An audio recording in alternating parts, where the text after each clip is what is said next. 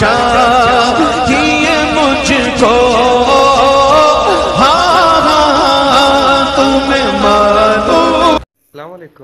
Subscribe करें हमारे channel को और बेल आइकन को क्लिक करना न भूलें, ताकि आप देख सकें हमारी नई नई वीडियोस।